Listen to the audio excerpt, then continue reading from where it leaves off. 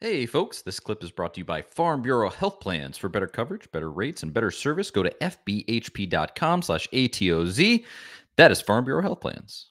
Now, to spring football. It kicked off today, and uh, this is obviously always an exciting day because usually means the weather's starting to warm up. uh, And do you freaking, hey, excuse me, weather, could you warm up, please? It was freezing here in Knoxville today. Um, but usually the weather is warming up. Obviously, you get to watch football. All the, the clips start rolling out from practice sessions. That happened today where everybody, oh, there's Nico was throwing, Joe was throwing. We got to see uh, uh, Cam Seldon was one of the guys that came up. All of this, these new guys. Uh, it's exciting. I love it. Uh, and then uh, Josh Heupel spoke at press conference today. Uh, how much of this did you see, Zach? Yeah, quite a bit of it. Uh, the weirdest thing was seeing Nico in that number 12 jersey. Uh, that Yeah. was kind of different uh, after seeing him in that the number eight for pretty much all of his recruitment and all the you know Polynesian Bowl and different things that he's participated in. That was kind of odd, but outside of that, kind of arbitrary thought. I mean, it seemed like plenty of reason to be excited. I mean, you got Josh Heupel talking about how how much deeper the team's going to be in year three and how they can build some depth at some positions and have competition that they haven't really had in the past. And specifically on the defensive side of the ball, that that will be huge. And then you had newcomers out there. Cam Seldon, interesting note that that he seems to be working at running back, and and Heupel talked about him getting a shot at that position uh, to begin with, even though he was listed as a wide receiver. Pretty sure he's still going to be used in some unique, creative ways, splitting him out wide. He's such a unique talent that you know perfect offense for for him to to be in because Josh Heupel and, and Joey Halzle and the rest of the staff will definitely find a way to create some mismatches with him. And and speaking of mismatches, Dont'e Thornton, another guy, you know, the Oregon transfer wide receiver, worked out of the slot today. Uh, I wouldn't make too much out of that because I think they plan on moving him around a lot. Because again, with those mismatches, you can really utilize him where he can play inside, he can play outside. Uh, for today, it seemed like he was taking reps behind Squirrel White, but again, that to me, that's just where they had him today. He'll probably move Yeah. outside, work there some. Who who knows how that rotation will actually end up, you know, working out. We we kind of have assumed that they will just use three wide receivers like they did last year for most of the season. But I mean, you don't know. I mean, Hype adjusts and adapts on the fly, so he might find a way to to keep some bodies fresh. Maybe he rotates a little more. Maybe they run some some more four wide sets. Who knows how they approach that? But that's obviously a good problem for them to have. And then I thought the most interesting note of the day because I think this is it might I don't think it's an underrated storyline. I think it's a big storyline. I just think things like the wide receivers and and Seldon and Nico and Joe Milton will get more attention. Offensive line. And uh, it seemed like they said John Campbell was uh, working more at left tackle, which is he's the Miami transfer, which is what he played at Miami. We kind of assumed that he would fill in with Darnell Wright's role at right tackle. Like they had shifted Gerald Mincey over to right tackle for today. I mean, it's early, so they're obviously just trying some things out and seeing what works. They left Crawford at left tackle, who him and Mincey split those uh, you know snaps last season. So that's kind of interesting. I mean, if they feel like Gerald Mincey's better on the right side and Campbell's the better left tackle, it would make sense to flip them.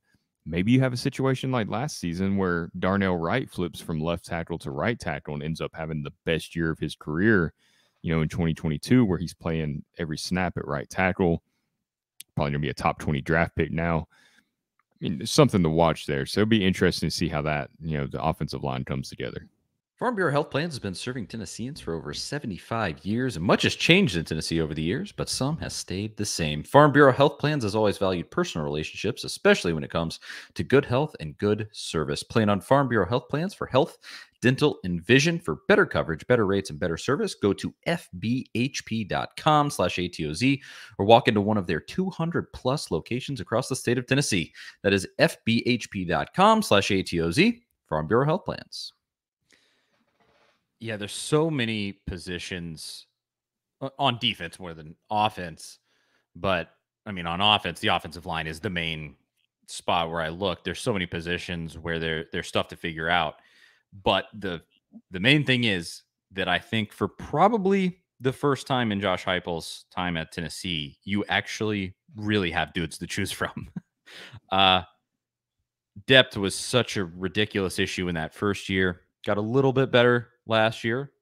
Well, a little bit better. They won 11 games. I think it worked out fine, but it's considerably more even now. Um, and so figuring that out with this added amount of depth is honestly just so exciting because it almost feels like this is the first spring ball where Tennessee really has a full football team. Um, and that's, I mean, that, that's just an interesting proposition because Heupel has had to work through this paper thin. You know, we we literally don't have a dude to play that position, so we got to move this guy over from safety to go play cornerback, and we're you know they're having to adapt all of these things. Again, it was mostly on defense, but it, it feels like they they legit have the warm bodies now. And so, what do all of those guys look like? Uh, and the offensive line, I mean, that's incredibly intriguing because you're replacing the, in my opinion, the best offensive line in the uh, uh, offensive lineman in the SEC last season, and Darnell Wright, who's going to be a draft pick, uh, first round draft pick probably. Uh, and that those are big shoes to fill. And so it's it's interesting to hear that they're kind of just sort of trying everything out. It's like, oh, this guy uh, we, we thought he was going to be here. Well, actually, he's playing over here. We're not sure exactly where they're going to go. That stuff, you know, sure, we always give the caveat at the beginning of all the spring practices, fall practices, just sort of be like, don't put too much stock in it because you always get excited about something. And then when the season actually comes, nothing really happens with it. With my, but as this goes, I mean, I think they got to be trying to figure that out. I, I think that's that's one of the most important things on this entire football team, and I'm sure that they are there is major urgency to get that offensive line situation figured out, and and so uh, that's that is interesting. I, I'm I'm it'll be kind of fascinating to see exactly where they go there. The defensive line, the cornerbacks. I mean, just choose your position on defense. It's gonna be uh, it's gonna be kind of interesting to see where they go, but um, one day is not enough to figure any of that out. But it, those are some uh, some good notes. Yeah, and Ed asked here, is Joe Milton going to start? Josh Heupel, I mean, we all know Joe Milton is going to be the starter to start the season unless he gets injured or something like that. Heupel pretty much without committing to Milton in a way did today by talking about that he expects him to play at an elite level, high level. But he wants competition there, uh, which you should at every position before you kind of like deem Joe Milton as the official starter.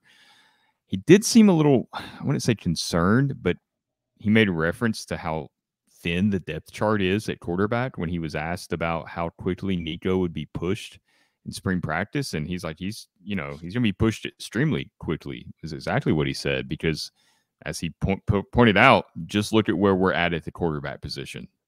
That they don't have another scholarship guy beyond Nico. You have some walk ons that would have to step into that role if something happens to your top two quarterbacks. So that obviously, if Milton goes down, you, are hoping that Nico's ready to go uh, pretty quickly, and he's a mature kid. Obviously, there's going to be some learning adjustments, some some growing pains there, just like for any highly touted quarterback. Nico goes down, and you're in, uh, you know, a world of hurt where suddenly you're just hoping to get to six and six and and get to bowl eligibility. Obviously, that would be the nightmare scenario. Let's not speak that into existence, but yeah, I mean, yeah. I, Heupel brought that up in that press conference today, he he said there is major urgency to get, or what was it? I actually wrote it down. Great urgency was his exact quote um, concerning Nico because that that quarterback room, while it is excellent, it is incredibly thin. I mean, they just don't have dudes beyond the top two guys. And what are you going to do when you have to turn to a third option? Uh, and and so at at a minimum, you got to get Nico figured out uh, at least for him to be serviceable in an SEC football game. Uh, and obviously, by doing that, you're going to set him up for success in the future, hopefully.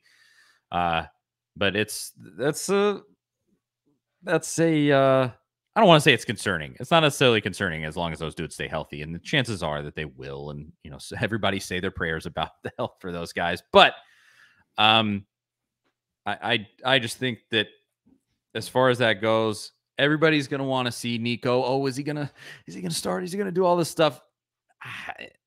That's just not gonna I don't think. My personal assessment of the situation, I think it's it's going to be Milton until they have a real good reason for it not to be. I will put yeah, it I don't way, think I, I, think. Yeah, I don't think Heupel is, you know, some coaches in the past at Tennessee uh, Butch Jones and Jeremy Pruitt specifically at times didn't really seem like they wanted to play uh, true freshman quite as early. I don't think any coach wants to have to rely on a true freshman, but I think Josh Heupel, you know, he's going to put the best guy out there, uh, no matter what position that is. I just I don't think there's any way that can be Nico as talented as he is, as mature as he is, as good of a leader and teammate as he's already proven to be. There's just so much to learn. This offense is yeah, it's been described as simple, and, and it is to some extent, but it's still unique in the way that they run it. And you got to be making really fast decisions. And Hendon Hooker was so much better in year two of the system than he was in year one because the experience factor. This is going to be Joe Milton's third year in this system, which is almost hard to believe that that he will have spent three years at Tennessee after transferring from Michigan. But there's just no way that Nico can have the the knowledge that Joe has already that has he's built over these past few seasons. And to me, uh, more than talent, that's the difference. And, it, and, it's not like Joe Milton's not immensely talented. We know that he's extremely talented, and, and he showed it in that Clemson game and every chance he got last season. So it's not like you're dealing with a situation where at Clemson when Kelly Bryant was the starter and just he just wasn't really getting it done, and they had to move to Trevor Lawrence. It wasn't that Trevor Lawrence left them no choice; uh, that he was just playing. I mean, obviously he played really well, but that was more of where the starter wasn't. It just wasn't working out, and they had to make the change. Something like that would have to happen for Nico to leapfrog Milton. On I don't there just if Milton's playing well, Nico plays well, Nico jumps him somehow. I, I don't see that happening, mostly because of the experience. Yeah, I just don't. I you see a guy go out and beat a team that won a national title, what three years ago or whatever it was last time Clemson did for me, four at this point, whatever it was, and he went out there and, and disposed of them. That's going to earn you a ton there if that's the level that you're playing at. Because to expect a freshman to come in in a unique offense and play like that is on it's honestly just unrealistic. I would love for Nico to be in his final form already, where he where I think he's gonna end up. Yeah, that would be amazing. But it's just uh, you know, father time doesn't work like that. Unfortunately, you just he's gonna have to get it figured out over time. So this conversation would be a lot different if Milton would have struggled against Clemson. I yeah. I can't imagine if if that would have happened and if Tayven Jackson would have stayed, that would have been a real, you know, uh, story this spring. Who starts? Who's the backup? How's the depth chart shake out? Uh, while Heupel doesn't like, you know, the lack of depth that he has at quarterback, I imagine he's at least he doesn't have to worry about the decision being that difficult or that scrutinized. Nobody's going to fault him for going with Joe Milton uh, over Nico to start the season, giving him a, a decently long leash to see how he does based on the way he played against Clemson, like I said, that that makes his decision a lot easier, and and there's not really much there to criticize. Absolutely, it is what it is. They again, they'll they'll play him until they have a a true reason not to, in my opinion. Uh, but otherwise, as far as spring practice goes, uh, it's one day. We haven't yeah. seen much, um, and you know that you don't. I don't want to say they haven't even really started the real work yet realistically for like media members and things you don't even see the real work ever like, like that just isn't something that tennessee is going to go and give out to media members because of the way i mean that's college football across the board now just teams they don't let media members see that stuff. So uh, the public doesn't get to see it either. But uh, you know we'll, we'll have to get past one day to really have a hard take on on much of anything. But there were there's some good news and notes there